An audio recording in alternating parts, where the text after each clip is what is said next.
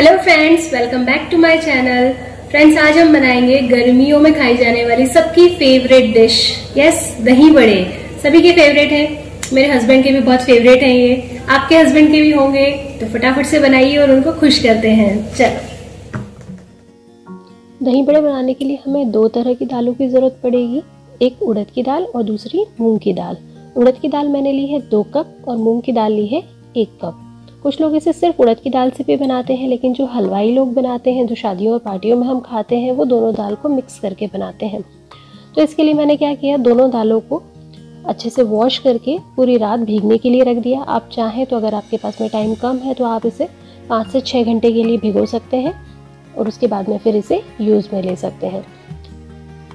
दाल भिगोने के बाद में इसे हमें तीन चार बार अच्छे पानी से, साफ़ पानी से वॉश कर लेना है। उसके बाद फिर हम इसे ग्राइंड करेंगे। तो अब आप देख सकते हैं कि मैंने दाल को अच्छी तरह से पीस लिया है, एक बैटर बना लिया है। थोड़ा सा थिक बैटर हमको बनाना है इसका। और यहाँ पर मैंने ऑयल गर्म होने के लिए रख दिया है कढ़ाई में, क्योंकि हमें बड़ों को तलना है। अब मैं इसमें डाल रही हूँ एक टीस्पून सॉल्ट आप अपने टेस्ट के अकॉर्डिंग डाल सकते हैं, जितना भी आप डालना चाहें।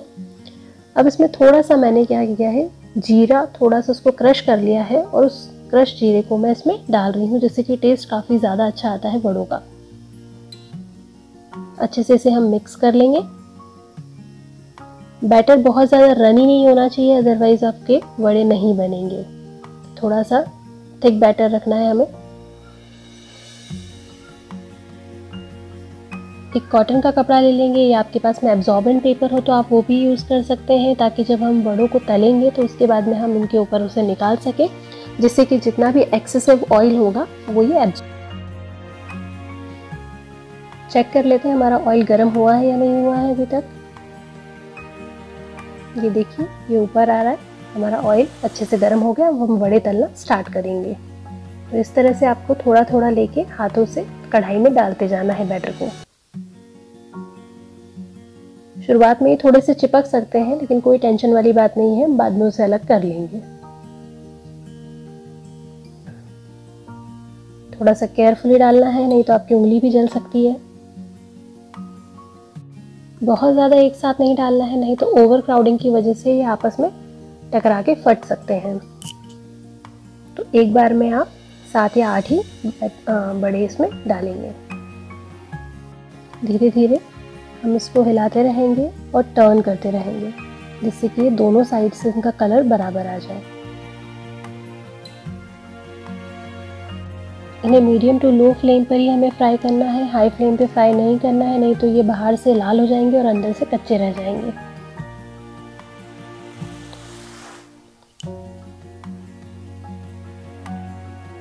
ये देखिए हल्का सा गोल्डन कलर आ गया है इनके ऊपर, हल्के से ब्राउन दिख रहे हैं ये। ये अब अच्छे से फ्राई हो चुके हैं तो अब हम इन्हें कढ़ाई से निकाल लेंगे और कपड़े के ऊपर, या आपके पास में पेपर हो तो उस पेपर के ऊपर रख देंगे। जिससे कि वो पेपर सारा ऑयल उनका एब्जॉर्ब कर लेगा। इसी तरह से बचे हुए बैटर से भी हम सारे वड़े तैयार कर लेंगे। वड़े बनाने के लिए जो मैंने दाल ली थी वो करीब 200 ग्राम उड़द की दाल थी और 100 ग्राम मैंने मूंग की दाल ली थी, जो कि काफ़ी है चार लोगों के लिए, पाँच लोगों के लिए बड़े बनाने के लिए।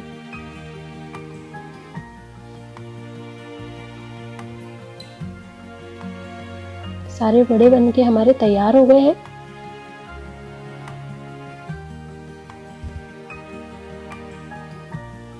इन्हें अच्छे से हम फैला देंगे, जिससे कि इनका ऑयल एब्जॉर्ब हो जाए।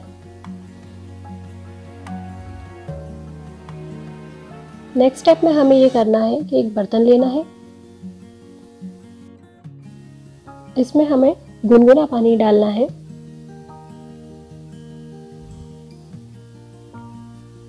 और इसमें हम डालेंगे थोड़ी सी हींग, जिससे कि बहुत अच्छा फ्लेवर आएगा बड़ों का। हींग को पानी में अच्छे से मिक्स कर देंगे।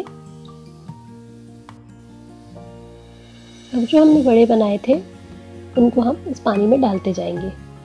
सारे बड़े एक एक करके हम इस पानी में डाल देंगे। और करीब दो से तीन घंटों के लिए उन्हें कवर करके छोड़ देंगे। सारे बड़ों को मैंने पानी में डाल दिया है। अब इन्हें मैं दो से तीन घंटों के लिए ऐसे ही छोड़ दूँगी। जब तक हमारे बड़े पानी में भीग रहे हैं, तब तक हम दही तैयार कर लेते हैं दही बड़ों के लिए। तो यहाँ पर मैंने दही लिया है। एक विस्क की ज़रूरत है। इस दही में मैं चीनी ऐड करूँगी, शक्कर डालूँगी और इसे अच्छे से हम विस्क की हेल्प से फेंट लेंगे। दही थोड़ा सा गाढ़ा होना चाहिए, तभी दही बड़े खाने का मज़ा आता है।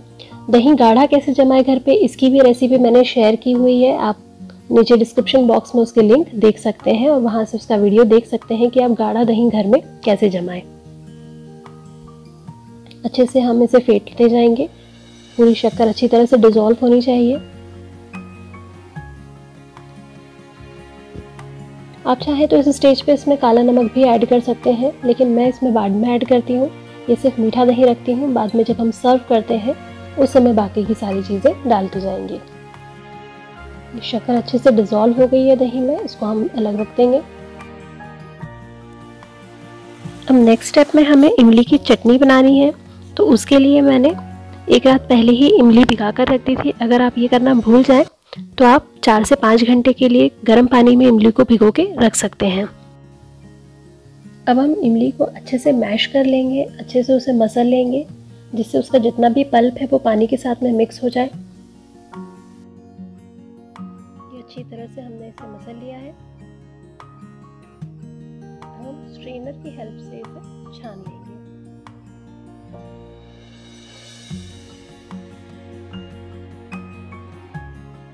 थोड़ा थोड़ा और इसमें पानी ऐड करते जाएँगे हम तो उसके बाद में इसे अच्छे से छानते जाएँगे, ताकि जितना भी पल्प है वो सारा पल्प हमें मिल जाए। इमली का पानी तैयार हो गया है। अब हमें बनानी है इसकी चटनी। इसको तड़का लगाएँगे और इसकी चटनी बनाएँगे। उसके लिए मैंने एक कढ़ाई में थोड़ा सा तेल ले लिया है। इमली की चटनी बनाने के लिए मुझे चाहिए क्रश किया हुआ जीरा, धनिया पाउडर, हल्दी पाउडर, लाल मिर्ची पाउडर और यहाँ लिया है मैंने एक कप गुड़ और नमक। और हमें चाहिए इमली का पानी जो हमने स्ट्रेन करके निकाला था। अब मैंने कढ़ाई में तेल रख दिया है, उसे गर्म होने के लिए रख दिया है। अब एक एक करके सारी चीज़ें इसमें डालते जाएँगे। पहले हमने क्रश किया हुआ जीरा डाल दिया, जो कि था हाफ़ टी स्पून नेक्स्ट हम इसमें डालेंगे धनिया पाउडर, करीब वन टी स्पून हल्दी powder one four teaspoon लाल मिर्ची पाउडर वन टीस्पून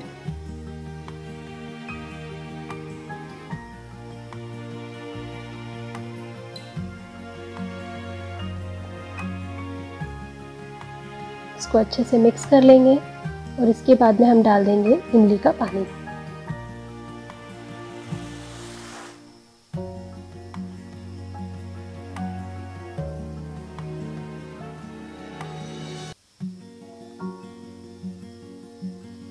नेक्स्ट हम इसमें डाल देंगे गुड़। आपको ज़्यादा क्रश करने की ज़रूरत नहीं है क्योंकि वो वैसे ही चटनी के साथ में मेल्ट होता जाएगा। तो आप थोड़ा सा उसे बड़ा बड़ा तोड़ के डाल सकते हैं। अच्छे से इसे मिक्स करते जाएँगे। और लास्ट में हम इसमें ऐड कर देंगे नमक। वो आपके टेस्ट के अकॉर्डिंग आपको डालना है।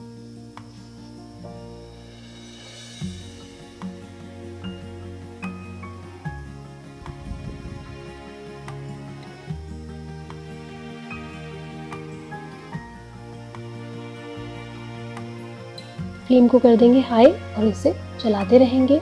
जब तक कि ये थिक ना हो जाए। तो ये देख रहे हैं आप, ये काफ़ी ज़्यादा थिक हो गई है।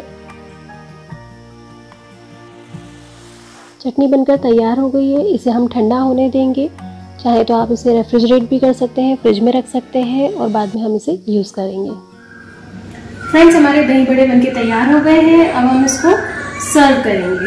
सर्व करने के लिए क्या करना है हमें? इनको पानी में से निकालना है बड़ों को। हल्का सा प्रेस करना है, थोड़ा सा पानी इसका रिलीज़ करना है।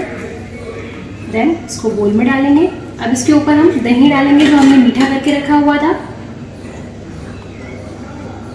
इसमें हमने सिर्फ़ शक्कर डाली थी, बाकी चीज़ें हम ऊपर से डालेंगे।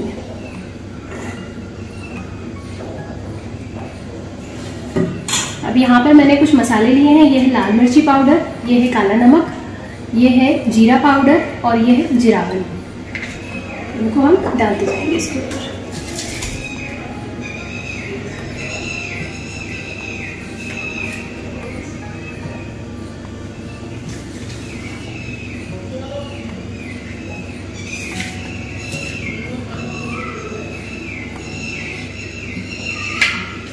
तो लास्ट में इसके ऊपर डालेंगे इमली की चटनी।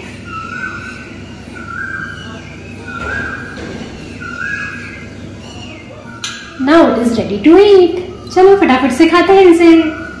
ओके फ्रेंड्स अब मैं आपसे मिलूँगी नेक्स्ट वीडियो में कुछ नई रेसिपीज़ के साथ। Till then bye bye